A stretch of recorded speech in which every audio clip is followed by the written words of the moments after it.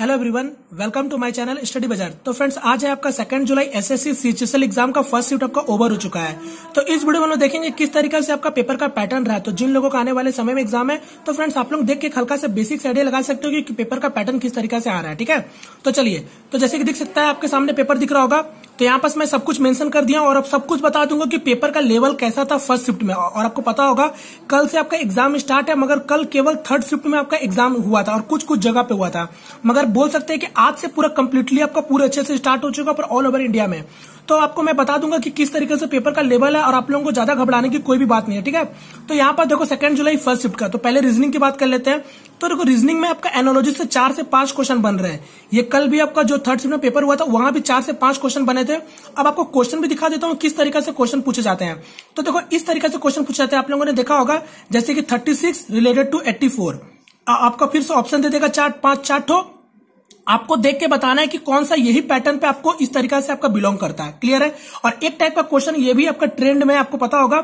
आपने जब मुक दिया होगा तो आपको पता होगा इस टाइप का भी क्वेश्चन दिखता है, जहाँ पास आपको तीन नंबर दे दिया जाता है। इसमें आपको एक पैटर्न समझना होता है और फिर उसी का हिसाब से आपको चार ऑप्शन दिया जाता है, जिसमें आपको पैटर्न देख के बताना होता है कि किस टाइप से आपका होता है। ठीक है?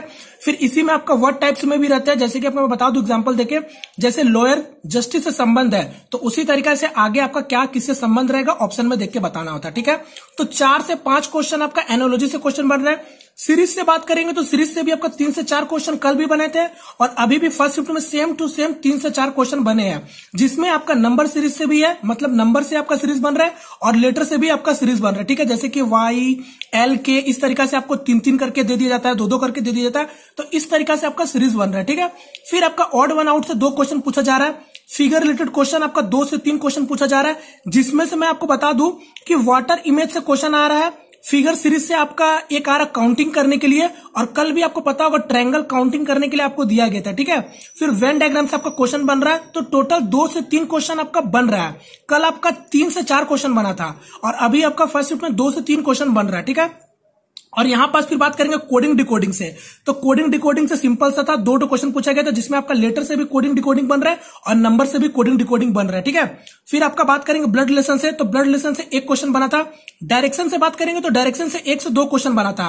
और ये ब्लड लेसन का जो क्वेश्चन था, वो आपका सिंपल पैटर्न पे था, कोई भी कोडिंग वोडिंग का इस्तेमाल नहीं किया था, ठीक है? अब बात करेंगे और आगे। अब यहाँ पास बात करेंगे स्टेटमेंट कंक्लूजन से। तो आपको पता होना चाहिए कि सिलोक से क्वेश्चन आपका बन रहा है। कल भी बना था, आज भी बना है, ठीक है? फिर यहाँ पास एक क्वेश्चन आपका मैथमेटिकल ऑपरेशन आपको पता होगा प्लस माइनस करके देता है जो ये आपका इससे संबंध रख रहा है ये इससे संबंध रख रहा है तो आपको वहाँ पर सॉल्व करना होता है एक इक्वेशन देकर, ठीक है? तो रीजनिंग का पैटर्न एकदम ठीक ठाक था। अगर मैं बात करूँ रीजनिंग का जो लेवल था, वो इजी से लेवल आपका मॉडरेट तक होगा। आराम से आप उसको अच्छा अटेम्प कर सकते हैं, ठीक है? मैं आपको बता दूँगा किस तरीके से आपको पेपर अटेम्प भी करना है, ठीक है? जिसका आने वाले समय में एग्ज़ाम है। फिर इंग्लिश की बात करेंगे तो देखो इंग्लिश का पेपर का जो लेवल है, जो कल था, वही आज है। कोई भी चेंजेस नहीं किया और इंग्लिश का जो सेक्शन है, वो बहुत ही ईजी आ रहा है। सबसे ज़्यादा जो सेक्शन है, मैं बोलूँगा वो सबसे ज़्यादा इंग्लिश ही एकदम सबसे ज़्यादा इजी आ रहा है। तो यहाँ पर देख सकते हो फिल इन द ब्लैंक्स आपसे दो से तीन क्वेश्चन पूछा जा रहा है। सिनोनम्स और एंटेनम्स आपका दो से तीन क्वेश्चन बन रहे हैं। स्पेलिंग करेक्शन कल भी पूछा गया था, आज भी पूछा गया होगा। और एडम ऑन फ्रेजेस दो से तीन क्वेश्चन क्लोज टेस्ट आपका पूछा गया था, तीन से चार क्वेश्चन एक्टिव पैसिव पूछा गया था, दो क्वेश्चन और यहाँ पर पारा जंबल से क्वेश्चन आपका तीन क्वेश्चन बने। और एरर डिटेक्शन से आपका क्वेश्चन एक से दो क्वेश्चन आपका बन रहा है, ठीक है? पता नहीं चल पाया कि कितना एरर डिटेक्शन से क्वेश्चन बन रहा है, मगर दो से तीन क्वेश्चन आपका फिक्स है, आपका बन रहा है। तो यहाँ पर सबसे पहले मैं बात कर लेता हूँ, जो इंग्लिश का सेक्शन है, वो एकदम, मैं बोलू अभी जो रिसेंट में एग्ज़ाम हुए सीजल का सेम टू सेम उसी को फॉलो कर रहा है, क्योंकि इंग्लिश का सेक्शन वहाँ भी सीजल में भी बहुत आपका इजी था, और जो सीचेसल में भी चल रहा है, वो एकदम इजी लेवल का एकदम इंग्लिश का सेक्शन आ रहा है, ठीक है? अब चलो मैथ की बात कर लेते हैं आपस। तो मैथ में सबसे पहले मैं बता देता हूँ मैथ का जो आपका लेवल है आपका सीएचएसएल में वो आपका थोड़ा सा हाई लेवल में आपको देखने मिल सकता है ठीक है? अगर आपने सीजीएल का एग्ज़ाम नहीं दिया था तो आपको हाई लेवल लगेगा पेपर मैथ का। अगर आपने दिया था तो आपको फिर से उसी लेवल का आपको क्वेश्चन देखने मिलेगा। यहाँ पास मैं बता दू जो जब जहाँ से आपका ज़्यादा क्वेश्चन बन रहा है डीआई से बन रहा है आपका तीन क्वेश्चन बन रहा है ठीक है? दो से तीन, तीन नहीं ये आपका तीन क्वेश्चन आपका पूछे जा रहा है डीआई से। क्लियर है? और ये सब ऑथेंटिक क्वेश्चन मैं आपको बता रहा हूँ, ठीक है? फिर ट्रिग्नोमेट्री से बात करेंगे तो एक से दो क्वेश्चन आपका ट्रिग्नोमेट्री से भी बन रहता है और कैलकुलेटिव ज़्यादा है फ्रेंड ठीक है? ध्यान रखिएगा समय आपका मैथ में ज़्यादा लग सकता है। तो इस सेक्शन को आपको थोड़ा सा बाद में करना है, जो आप जो आप सेक्शन में स्ट्रांग हो, पहले उसी को करना। फिर कोऑर्डिनेट ज्योमेट्री से एक क्वेश्चन आपका केवल पूछा गया था। कोऑर्डिनेट ज्योमेट्री से केवल एक क्वेश्चन पूछा गया था। सिंप्लीफिकेशन से आपका दो से तीन क्वेश्चन पूछा गया था और वो बहुत ज़्यादा कैलकुलेटिव था। आपको पता होगा बोर्ड मास रूल तो लग रहा था। वहाँ पर ऑफ़ मल्टीप्लाई बहुत ज़्यादातर आपका यूज़ किया गया था। तो ध्यान से बनाना पड़ेगा आपको। एक क्वेश्चन आपका सीआई से पूछा गया था एसआई से क्वेश्चन आपका नहीं पूछा गया था, ठीक है? कई लोग बोल रहे थे आपका एसआई से पूछा गया था, मगर सीआई से एक क्वेश्चन आपका पूछा गया था। या क्या पता मेरे ख्याल से सीआई और एसआई मिक्स हो? ठीक है तो कह नहीं सकते, मगर एक क्वेश्चन आपका सीआई बना था। टाइम एंड वर्क से एक क्वेश्चन आपका बना था। अब टाइम एंड वर्क में कैसा क्वेश्चन बना था? सिंपल में नहीं फ्रंट आपका क्वेश्चन बना था। टाइम एंड वर्क का क्वेश्चन जो था, वो परसेंटेज पे आपको यूज़ करके बताया जा रहा था। जैसे कि अगर मैं बता दूँ, जैसे कि अगर बोलता है ए और बी आपका इतने दिन में काम करता है तो बी आपका जैसे बोल देगा सोलह, दो बटा तीन में इतना काम करता है, दो तिहाई काम करता है। तो बताओ कि आपका ए आपका अकेले कितने दिनों में काम करेगा? तो इस टाइप से आपका क्वेश्चन बन रहा थोड़ा घुमा घुमा के दिया जा रहा है, ठीक है? प्रॉफिट लॉस से आपका वैसे दो क्वेश्चन आपका बन रहा है प्रॉफिट लॉस से। उसमें परसेंटेज भी मिक्स है। प्रॉफिट लॉस में परसेंटेज भी मिक्स है। मेन्सुरेशन से आपका एक क्वेश्चन बना था। ट्रेन स्पीड टाइम डिस्टेंस से एक केवल क्वेश्चन आ रहा है, ठीक है? अल्जेब्रा से दो क्वेश्चन बन रहा था। तो यहाँ पर मैं बता दू, जो लोग परेशान है तो आपको अल्जेब्रा से एक से दो क्वेश्चन देखने मिलेगा। कल के शिफ्ट में आपको एक क्वेश्चन पूछा गया था अलजेब्रा से, अभी वाले शिफ्ट में आपको दो क्वेश्चन पूछा गया। नंबर सिस्टम से दो से तीन क्वेश्चन बन रहा है और ज्योमेट्री से आपका दो से तीन क्वेश्चन बन रहा है। ज्योमेट्री से क्वेश्चन। अब यहाँ पर मैं बता दू, ये जो ज्योमेट्री का क्वेश्चन जो भी बन रहा है, अगर आपने अगर आपने सीजल का एग्ज़ाम दिया था, मैं फिर से बोलूँगा, सीजल का एग्ज़ाम अगर आप दिए थे तो आपको पेपर सेम टू सेम लगभग उसी तरीके से आपको देखने मिलेगा। अगर जिन लोगों ने सीजल का एग्ज़ाम नहीं दिया था तो आपको फिर अलग, आपको थोड़ा हार्ड भी लग सकता है। और मैथ आपका कैलकुलेटिव है ध्यान रखिएगा, ठीक है? अब जीके जीएस का सेक्शन की बात कर लेते हैं लास्ट सेक्शन है। तो यहाँ पर आपका कुछ उतना क्लैरिफाई नहीं हो पाया जैसे कि मैं बता दू साइंस सेक्शन से आपका फिजिक्स केमिस्ट्री से क्वेश्चन बहुत ही कम पूछा जा रहा है। इनफैक्ट बोल सकते हैं कि क्वेश्चन आपका पूछा ही नहीं जा रहा।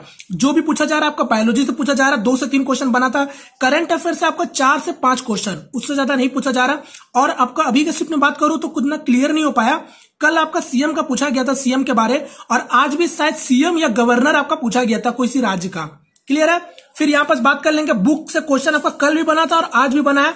डैन से आपका एक क्वेश्चन पूछा जा रहा है डांस से आपका एक क्वेश्चन पूछा जा रहा है। फिर यहाँ पर स्टेटिक्स में आपका क्वेश्चन बता दे। आर्ट एंड कल्चर से मतलब स्टैटिक्स जीके में आर्ट और कल्चर से आपका क्वेश्चन बन रहा है दो तीन। उसमें आपका रिवर उबर से इस टाइप से क्वेश्चन बन रहा है। पॉलिटी से आपका क्वेश्चन आ रहा है। तो ये आपका जो जीके का सेक्शन है, उतना अच्छा से क्लैरिफाई नहीं हो पाया, ठीक है? क्योंकि ये क्वेश्चन बहुत लोगों को समझ नहीं आता कि कहाँ से आपको बताना होता है, ठीक है? तो मुझे जितना पता चला, मैं आपको बता देता हूँ। ये जो सेक्शन आपको जो बताया जीके जेस में, ये सबसे आपका क्वेश्चन बन रहा है। पॉलिटी से क्वेश्चन बन रहा है। हिस्ट्री से क्वेश्चन बन रहा है या नहीं बन रहा मुझे पता नहीं एग्जैक्ट उतना, और आपका इसी तरीके से पेपर का पैटर्न रह रहा है, ठीक है? तो अब मैं बता दूँ कि देखो पेपर जिन लोगों का आने वाले समय में है तो आप लोगों को बता दूँ कि पेपर किस तरीके से आपको अटेम्प्ट करना है। यहाँ पर अगर आप मैथ को पहले अटेम्प्ट करते हो तो ये आपका पूरा एकदम पेपर को खराब कर सकता है, क्योंकि जो मैथ का पेपर का जो सेक्शन है, वो थोड़ा कैलकुलेटिव आ रहा है तो आपका सारा समय वहाँ लग सकता है। तो मैं बोलूँगा सबसे पहले, अगर जो लेवल आपका, जो तरीका से आपका था, वो सबसे ईजी में आपको मैं रखूँगा इंग्लिश को। जैसे आप लोगों ने बताया था इंग्लिश का सेक्शन बहुत इजी आ रहा है। इंग्लिश के बाद आपका रीजनिंग है और रीजनिंग के बाद आपका जीके जीएस और उसके बाद लास्ट में आपको मैथ करने बोलूँगा। अब जीके जीएस जो है, वो किसी लोगों को इजी भी लग सकता है हार्ड भी लग सकता है। वो डिपेंड करता है कि आपका प्रैक्टिस किस तरीका से और आपका कितने महीने का आपने पढ़ा है जीके जीएस ठीक है? करंट अफेयर तो यहाँ पर बोलूँगा, पहले आप इंग्लिश को अटेम्प्ट करो, फिर रीजनिंग का अटेम्प्ट करना, या फिर रीजनिंग को भी पहले अटेम्प्ट कर सकते हो, मगर बाद में इंग्लिश को ज़रूर करना। और अब मैं बोलूँगा आप लोग लास्ट में ही मैथ को करना, क्योंकि मैथ में आपको पूरा समय लग जाएगा तो आपको पता भी नहीं चलेगा इसलिए। तो इसलिए जितना आप लोग पहले तीनों सेक्शन को कंप्लीट कर लेना लास्ट में आप मैथ के सेक्शन की ओर बढ़ना, ठीक है? तो यहाँ पर मैं अगर बात करूँ तो पेपर का जो लेवल है, वो उसको ईजी नहीं बोलेंगे। उसको इजी नहीं बोल सकते, क्योंकि पेपर का लेवल आपका इजी वाला नहीं है। अगर पिछले साल कंपेयर अगर करेंगे तो हम।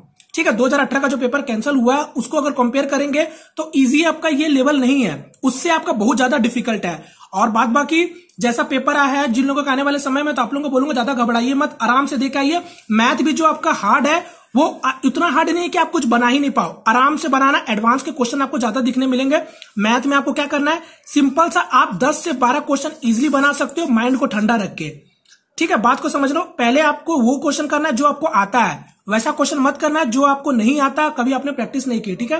तो पेपर को अच्छे से दीजिए, जैसे आपको पैटर्न मैं बता रहा हूँ, उस तरीके से जाके दीजिए, आपका अच्छा खासा, आप अपने समय को अच्छे से यूटिलाइज कर पाओगे, ठीक है? वरना मैथ का सेक्शन को ले लोगे तो फिर आपका सारा समय बर्बाद हो सकता है, ठीक है?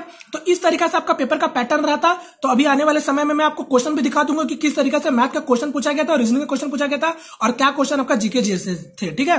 तो चलिए फ्रेंड्स यहाँ पर वीडियो को वाइंड अप करते हैं, ठीक है? तो आप लोगों को मेरी तरफ़ से बेस्ट ऑफ़ लक तो मिलते हैं फ्रेंड किसी नेक्स्ट वीडियो में, तब तक के लिए जय हिंद जय भारत।